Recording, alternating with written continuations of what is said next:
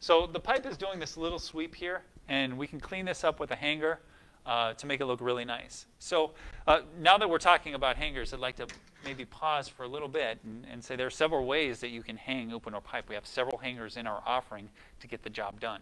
Uh, the first and most basic is a tube talon. So this tube talon uh, is uh, is a hybrid tube talon. This one is made for half inch pipe, it's made for 5 eighths inch pipe, and it's made for 3 quarter inch pipe. And it goes right over the top of the, uh, of the pipe. Let me demonstrate here. So I've got a half inch pipe in my hand and I've got this half inch tube talon. Let me get a tabletop going here. So what I'm going to do here is just going to throw this right on there and then with a hammer I'm just going to nail that in place. It's very simple to do. You do, uh, you do one hanger every 32 inches when you're using uh, Uponor Aquapex or Heatpex pipe. If I'm using 3 quarter inch, I'm going to use, uh, I need a bigger thumb. I'm going to use the same tube talon. And all I have to do to make that work is just push on the pipe a little bit. It snaps right onto the pipe like that. And then using a hammer, I just pound that in place. There are other ways to hang. Um, one, of the, uh, one of the other ways that when I'm working in mechanical rooms, I really like this method. This is a, uh, this is a PEX clip. Uh, and uh, if you look here closely, I just take a, let me get this out of here. I've got a screw in there right now. So I'm just going to take a screw and fasten this PEX clip to the structure. And then I snap the pipe in place. I'll, I'll demonstrate what that looks like on, uh, on another one of these boards. So the first thing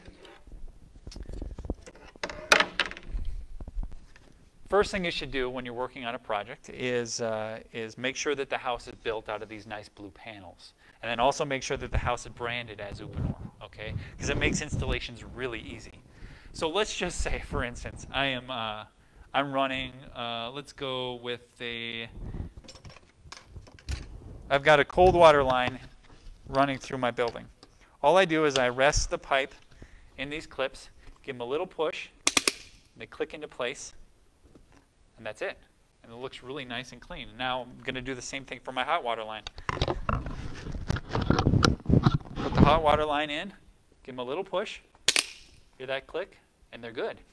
So let's say that uh, maybe hot water and cold water are not the only pipes in a system. Maybe I've got a dedicated hard water line that I'm running to my hose bibs or to my ice maker box or to maybe a whole house humidifier.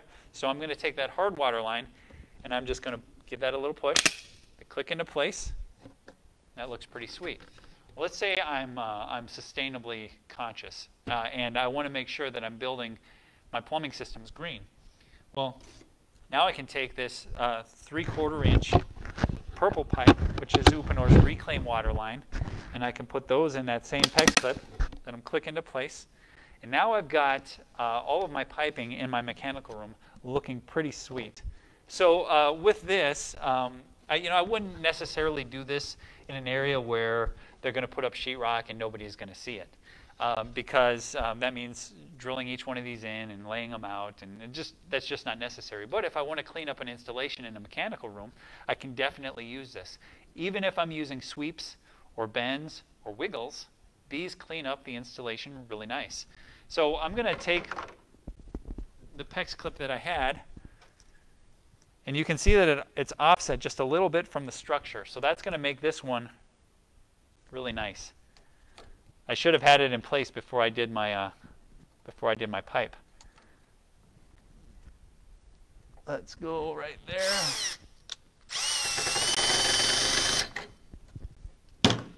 Good enough. And then I just click that in place, and now it's held in place really tightly. So uh, I could also use, if I wanted, I could use a tube talon there. Um, we have other types of supports. Um, we have uh, what are called PEX clamps. Um, this is a, a standoff clamp, and if you can see here, it's got two holes in it, uh, and it just kind of hooks around the pipe. It's got a little C shape to it. Um, we also have these types of clamps. Um, these, uh, so this is a suspension. This is a standoff clamp.